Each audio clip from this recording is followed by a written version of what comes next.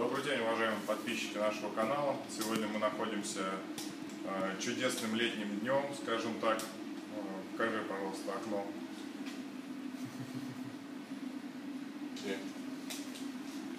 А, мы приехали сюда, чтобы сделать систему приточно-вытяжной вентиляции с рекуперацией тепловой энергии.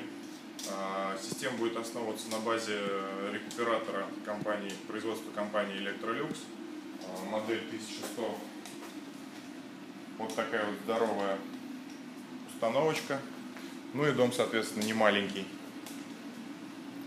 Система будет состоять из плоских канальных воздуховодов с радиальной системой разводки. То есть на каждое помещение свой приток и своя вытяжка. А, соответственно, на каждое помещение свой отдельный вент-канал. А, приточная а, установка у нас, приточные воздуховоды у нас будут изолированы, потому что в перспективе, возможно, здесь появится еще канальное кондиционирование. Сейчас мы вам покажем немножко объект, а в конце покажем, как не стоит собирать разводку системы отопления. Итак, мы сейчас находимся на втором этаже. А, хотим вам рассказать основные принципы построения системы вентиляции, с чего вообще начинается монтаж. Монтаж а, системы вентиляции, то есть, то есть соответственно, всех этих вент-каналов, начинается с предварительной раскладки тех, этих же самых вент-каналов. Вот с чего она начинается. Вы раскладываете предварительно трассы, как они у вас пройдут. Даже если у вас есть стопроцентно выполненный проект, он не даст вам гарантии, что вы на объекте не столкнетесь, например, вот с таким вот несущим брусом. То есть здесь у нас приходится его обходить уже по факту. Но это на самом деле не повлияет на работоспособность системы, но это усложняет немножко монтаж и приводит к, э, перерасходу материала. А в частности этих самых вент-каналов, отводов под 90 градусов, точнее поворотов и так далее. Здесь монтаж будет производиться в полах, э, только потому, что заказчики хотят сделать э, хотят сохранить структуру потолка и сохранить высоту. Здесь у нас стяжка будет 15 сантиметров. Это позволяет нам полностью убрать вент-каналы и проложить их в полах. Что будет на полах, еще пока даже сами заказчики не знают. Но вот эта система, она позволяет э, выбирать. То есть можно сделать стяжку, можно сделать э, дощатый пол из половой доски также, засыпка там керамзитом или керамзитной крошкой и так далее. То есть, соответственно, у нас в полах идут основные трассы, где-то они расходятся на точке, и, соответственно, подъемы уже будут в каркасных стенах, и, соответственно, будут стоять уже диффузоры приточно-вытяжные, они у нас универсальные на этом объекте. Здесь применена система э, централизованной э, вытяжки и притока только в помещениях жилых. Соответственно, все санузлы и все ванные комнаты, они будут запитаны децентрализованно. То есть каждый а, каждая вытяжка будет там отдельная. Соответственно, они не будут участвовать в общем обмене воздуха. Сейчас покажу вам, как делать нельзя. Вы нанимаете человека, чтобы он пришел вам и сделал качественную систему отопления. Вы платите ему за это деньги. Вы сделали проект, сделали э, все необходимые расчеты с подрядчиком и получаете вот это. нанять специалиста это тоже немаловажно. Вот посмотрите. Идут подъемы из тех помещений. Это, я так понимаю, на теплый пол выводы, соответственно. Никаких заглушек, ничего нету. То есть сейчас в этой трубе песка, наверное, больше, чем воздуха даже того же самого. Вот это вот все. У нас э, в проекте выводы из теплового узла предусмотрены вот в этой зоне. Но благодаря вот этой вот всей разводке мы сейчас не можем здесь воздуховоды пустить. Соответственно, нам их приходится перемещать уже в другое помещение. Покажи еще вот эти все перегибы. Вот здесь вот труба вышла и зачем-то пошла вот сюда. Я так полагаю, это рециркуляция или нечто в этом роде. Почему она тогда не идет где-нибудь в крайней точке, вот там вот? То есть вот этот узел, он будет холодный за ночь это все спокойненько остынет. Вот этот вот элемент с переходом. Я так понимаю, это холодная вода. Видимо, забыли ее сразу сделать. Решили сделать вот так. Такая же примерно ситуация и в втором э, санузле.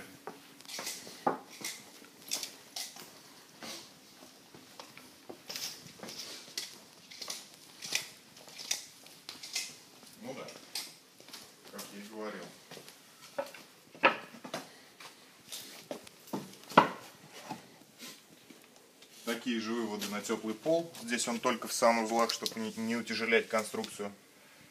И вот такая вот просто гениальная, на мой взгляд, разводка с таким же вот перегибом. Видимо, опять же под рециркуляцию. Система отопления тоже масса нареканий на самом деле. Насколько я понял, здесь даже ничего не опрессовывалось перед тем, как а, в конце концов произвести стяжку. На первом этаже уже все сделано. И полы залиты, и разводка радиаторной системы отопления сделана. Но я сомневаюсь, что это что-то было опрессовано. Потому что вот так вот опрессовать систему даже того же самого водоснабжения невозможно. Но здесь хотя бы заклеили, и то хорошо.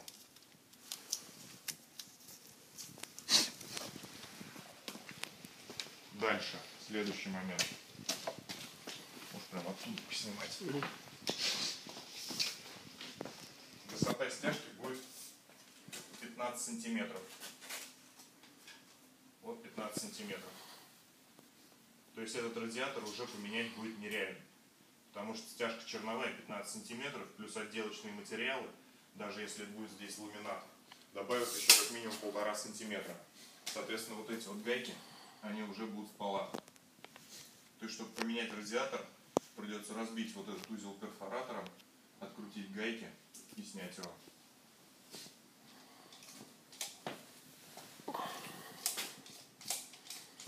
Сейчас начну то, что а, конвектор, соответственно, рядом с окном. Здесь достаточно большой оконный проем. В целом установлен достаточно правильно, как положено, с уклонами, со всеми делами. Но установлены деревянные бруски.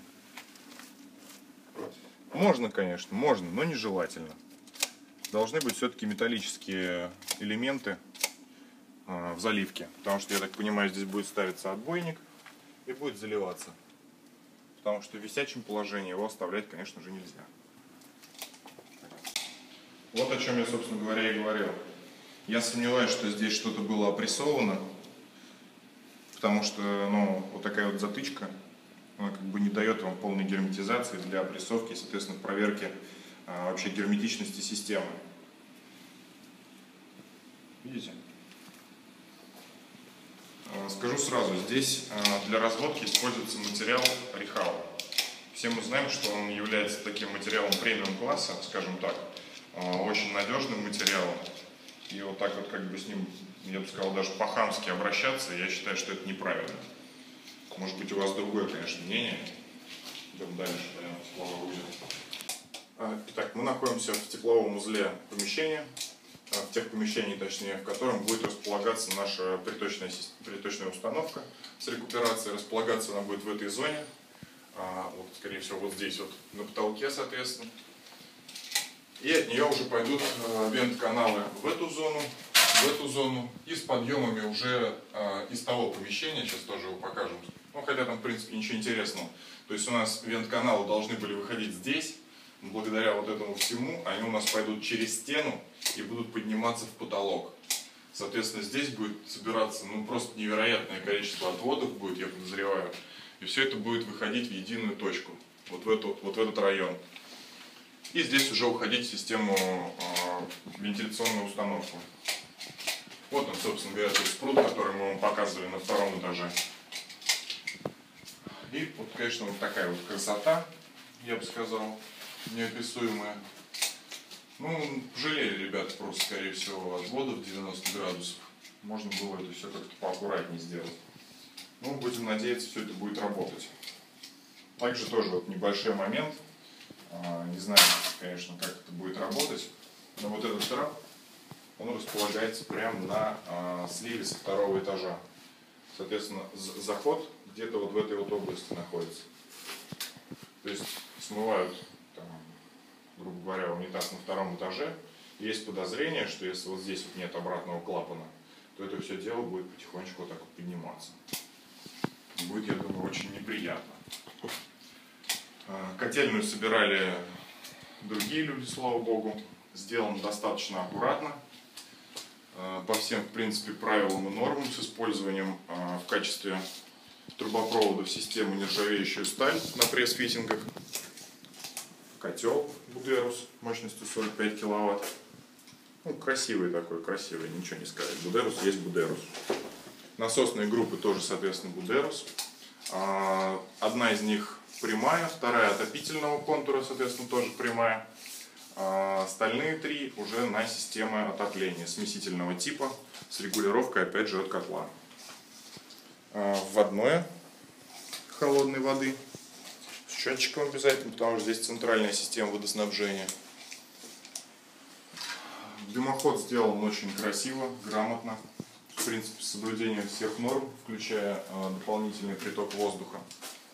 В целом котельная красивая. Если бы, конечно, не вот это вот дело. Итак, мы прошли с вами по объекту, увидели э, первый, второй этаж, все плюсы и минусы, скажем так, недостатки этого объекта в системе отопления, в системе э, теплового узла. Ну, в тепловом узле, конечно, их практически нет, там все красиво. Ну, по крайней мере, в отоплении есть косяки, они очень большие. Что хочется в заключении сказать, обращайтесь всегда к профессионалам своего дела не нанимайте никогда людей, непроверенных, по крайней мере, с которыми вы не имели, допустим, дела ранее, или которых вам не порекомендовали там, ваши друзья или знакомые. Это раз. А во-вторых, всегда общайтесь с подрядчиком, чтобы понимать просто, как это выглядит. Привлекайте дополнительных людей, которые в этом разбираются, для проверки той же самой системы. И тогда у вас не будет вот таких вот э, недочетов, как здесь. Это ну, может быть фатально просто, потому что на первом этаже везде уложен теплый пол я сомневаюсь, что его кто-то вообще обрисовывал. И это будет просто печалька, если там где-то в каком-то контуре да, будет небольшое там то же самое отверстие, которое можно сделать очень легко, даже наступая просто-напросто на трубу. Ну, конечно, неоднократно. В общем, обращайтесь к профессионалам, подписывайтесь на наш канал. До свидания. Три. А, всем еще раз добрый день. Ну, для вас продолжение видео, для меня это уже следующий день. А, мы закончили с монтажом системы вентиляции приточно-вытяжной с рекуперацией. Сейчас мы вам покажем, как у нас это вышло.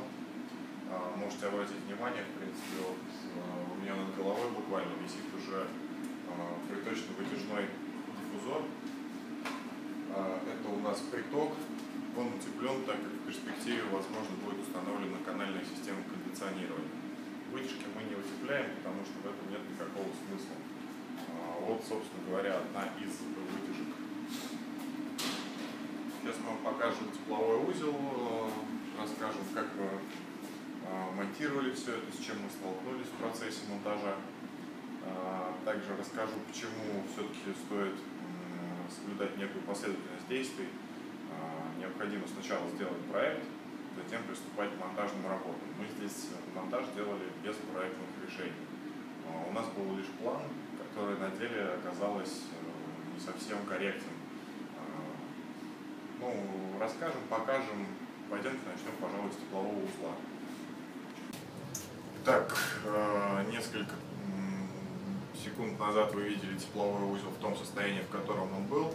А сейчас вы его увидите таким, какой он стал. А, и, собственно, потом поднимемся на второй этаж и посмотрим, как там что изменилось. Зайди, покажи.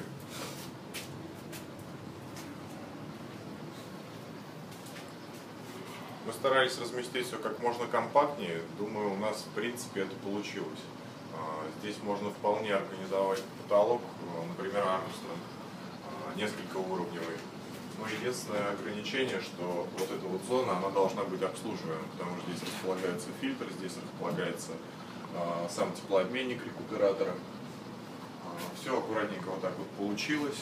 Пойдем на улицу покажем, какие лопатимы поставили. Собственно говоря, вот так вот это выглядит. А, чуть позже мы обрежем пену, потому что монтаж только закончен. Она еще не застыла.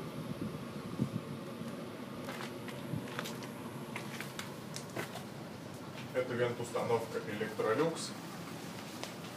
Мощность 1100 метров кубических. В принципе, на минимальной скорости она вполне справляется с прокачкой всего объема. При всем при этом она менее шумна, а, нежели чем на высокой скорости. Слышите? Шум практически пропал. Тем не менее, производительности достаточно, чтобы обеспечить комфортное пребывание а, во всех помещениях данного дома. Сейчас пойдем во второй этаж, посмотрим, как там что. И продолжим обсуждение, почему все-таки необходимо начинать именно с проекта, а затем приступать к монтажу. Три. Если помните, на втором этаже мы начинали с элементарной раскладки воздуховодов. Э, Ну, это, собственно говоря, было наше видение. А Сейчас уже вы увидите готовое решение, как это выглядит уже в сборе. Утепленные воздуховоды напоминают э, приточные воздуховоды. Соответственно, неутепленные это вытяжные.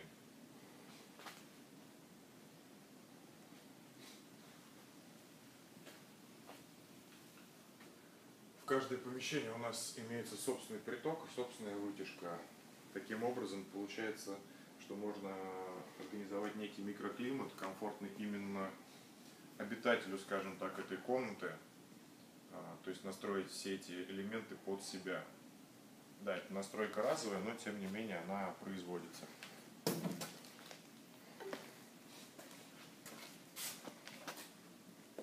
Первое отклонение от проекта это у нас э, изменение вот этой вот зоны.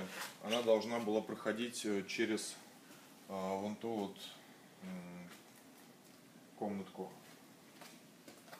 Но так сделать не вышло, ровно потому что здесь находится несущая балка, а, которая является опорой кровли. То есть пилить ее крайне не рекомендуется. Можно, конечно, но все-таки не стоит этого делать. Следующий момент. А, Под нами находится еще одна комната. А, Воздуховоды планировалось к ней подвести через первый этаж. Но на практике вышло так, что если мы подводили бы их через первый этаж, у нас бы потолок опустился минимум сантиметров на 20. Одно из пожеланий заказчика было минимально опускать потолок. Плоские воздуховоды нам как раз позволяют это сделать, опустив его всего на а, 8 сантиметров с утеплителем. То же самое, в принципе, и в этом помещении. То есть нам сюда нужно было подать приток и вытяжку. В санузлах будет естественная вентиляция, поэтому никакие наши воздуховоды туда не, не подводятся. Она будет обеспечиваться через э, вытяжку, через проходку, через кровли. И, соответственно, а, давать дополнительную естественную вытяжку. То есть система даже при отсутствии электроэнергии в санузлах будет достаточно свежо. По крайней мере, свежий воздух туда подаваться будет.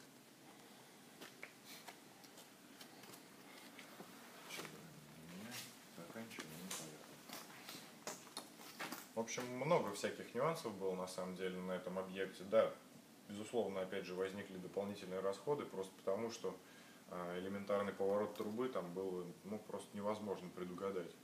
Даже при всем при том, что сюда выезжали наши специалисты для оценки э, стоимости проекта. Ну, мы постарались максимально все учесть, поэтому удорожание было совершенно небольшое. Оно было приемлемо и для заказчика, и для нас. Соответственно, получилось достаточно хорошо. Все-таки опыт э, дает о себе знать. Даже без проекта можно сделать, в принципе, качественное достаточно решение э, по системе вентиляции. Всем спасибо, подписывайтесь на канал. Пока.